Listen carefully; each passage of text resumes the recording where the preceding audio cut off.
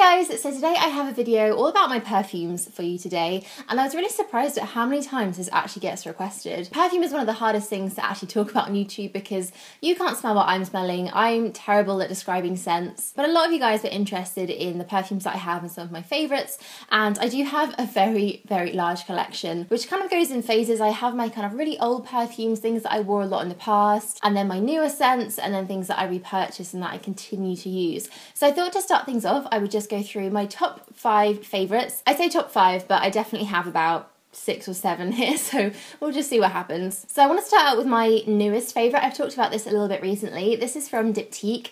I'm such a massive fan of Diptyque perfumes and I have quite a few of them. And this is the newest one that I've come across. This is Eau.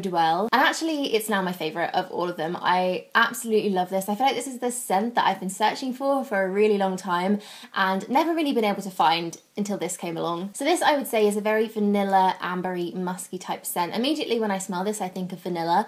In fact, if you know the Diptyque vanilla candle, smells identical to this. And I love vanilla. I used to have a little Body Shop vanilla perfume spray when I was younger.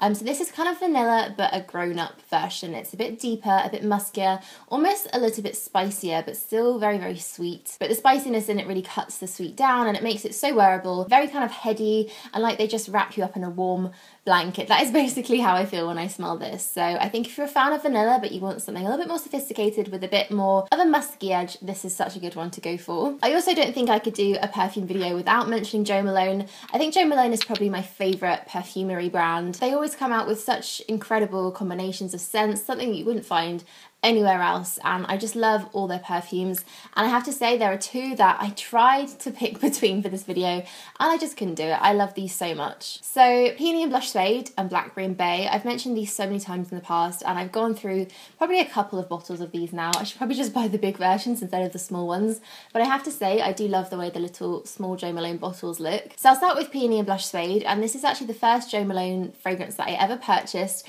and I spent hours and hours in the store sniffing them and smelling them. In fact, I think it's in my first ever Vlogmas video. I went to the Jo Malone counter and just went crazy and I smelled everything. And in the end, I came away with this one. And this is very sweet and actually very floral for me. I don't usually go near floral scents, but it's kind of got a fruitiness as well. I think the peony is a slightly more fruitier flower. So that just turns this into a whole different thing. So it's definitely very floral, but it's also quite citrusy as well. A little bit sharp, kind of has a bit of apple in there too. I love the scent of apple. And also the suede in it just gives it, again, a little bit more of a musky edge, something a bit more sophisticated than just a normal floral. I think I'm nearly out of this one. Definitely need to restock up on it. But Peony and Blush Suede is such an amazing one if you like your florals and your sweets and your really kind of fruity fragrances. So then kind of slightly different to that, I have Blackberry and Bay as well. Again, I think this is kind of a signature scent from Jo Malone. It's one of their most popular ones. And this is such a different fragrance. It's really unlike anything I've ever smelt before. Again, it is quite fruity because of the blackberries in there. It's fruity and also sharp at the same time, which I really, really like. But the scent of the bay in this, which is actually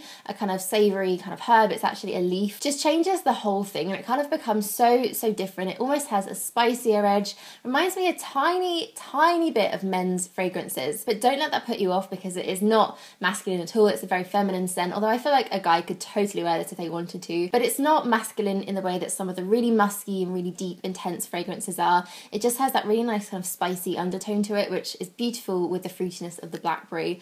Um, so I love this one so much, and it's kind of one of those scents that really, really warms up on your skin. So as soon as you spray this on, it kind of just transforms a little bit. It's going to be different on everyone, but on me, it just gets so warm and beautiful, and it's a really kind of cozy scent. So I absolutely love Blackberry and Bay, and I did try to choose between the two, but they're so different and I love both of them. So one of my all-time favourite scents is actually from Kiehl's and I really wasn't familiar with Kiehl's fragrances up until about two or three years ago. I had no idea that they did them, but I was in the London store, I think, in Waterloo Station waiting for my train and I went to smell this and as soon as I did, I was just obsessed. I was in love, I had to have it. As you can see, I've pretty much used all of this up because I think I used it every single day for about six months, non-stop. I just didn't want to wear anything else but this. And actually it has a very similar type of scent to the Diptyque Eau Duelle.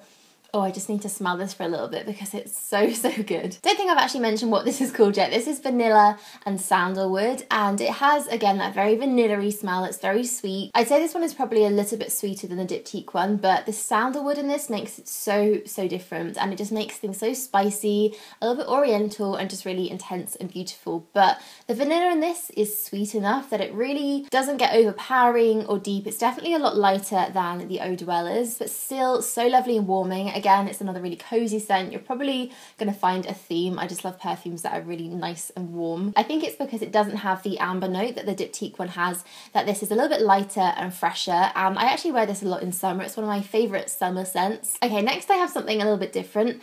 And I was thinking about whether or not to include this one, and I decided that I have to because this was my favourite perfume for so, so many years. There was this one, and then a Chanel perfume as well, Chanel Chance Eau Fraîche, which is the green one, which when I was was probably about 15, I just wore non-stop. So this is Chloe. I think this is actually the Eau de Toilette version, but it's still very, very similar to the original Chloe. And this one I think is probably going to be the hardest fragrance to explain because whenever I actually try and describe it to anyone, I just can't seem to figure out what this actually smells like. I think it's definitely described as a floral. In fact, I think it's kind of a floral chypre. And I'm not a technical perfume person, so I can't really explain to you what that means, but there is something so sharp about this, and that's the only way I can think to describe it. It's not bitter, but it is just a really, really sharp and intense, almost quite tart type of floral scent. And I just love it. It's so unique and so different. And actually, whenever I'm outside and somebody walks past me that is wearing this, I just instantly know that it's Chloe. I'd say as well, this is probably the strongest perfume I own,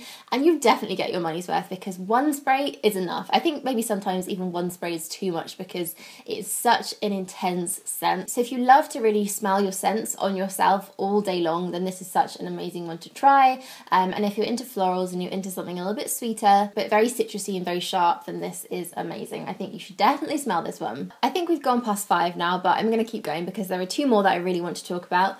The first one is from Tom Ford. This is actually the only Tom Ford fragrance that I own because they are quite pricey, but there are so many that are amazing in the range. They're definitely worth checking out. There are a few that I have my eye on for the time being, but this is actually one of my favorites right now. This is Noir, and this is basically a pure amber scent, I would say. It smells just like amber, and if you're not familiar with amber, it's kind of like vanilla's stronger, deeper, muskier sister. It smells vanilla but so much more intense, so much more concentrated, and just really, really deep and really spicy. This one is a very intense fragrance. Again, similar to the Chloe one, you don't need a lot of this at all. A little bit goes a very long way. And this is actually my favorite evening scent. I love to wear this when I'm going out. It's just one of those really kind of sexy perfumes. I hate to describe perfume like that, but it is very much like that, very deep and dark and intense. And those by far are my favourite scents. I'm really not into the kind of light, very girly fragrances. And then the last one I have actually comes in very similar packaging. This is from Elizabeth and James and it's Nirvana Black. I feel like this is one of those kind of ultimate blogger perfumes that everybody has to own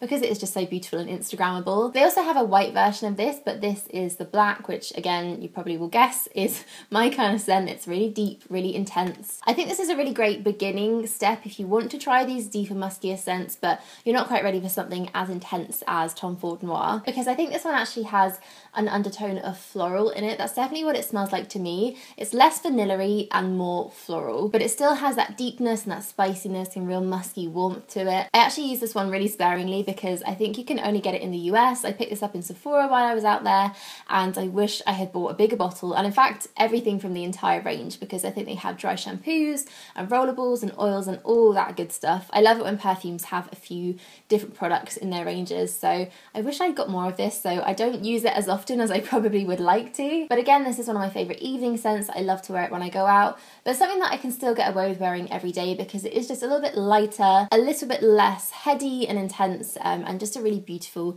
gorgeous smell. So big thumbs up to Elizabeth and James. So those are all the perfumes that I wanted to talk about today. I think that's quite a good little introduction into my favourites. If you would like to see an entire perfume collection tour, which would probably be a very, very long video, please let me know in the comments because I would love to do that for you and I'll try and figure out a way of it being slightly more interesting than me just holding different perfume bottles up. So I hope you enjoyed that and you maybe got a little bit more of an insight into the types of scents that I like if you're familiar with any of these. If any of these are your favourites or in fact fact, if you have just an all time favourite perfume, please let me know. And that is it for me today. So thank you so much for watching, and I will see you all soon. Bye.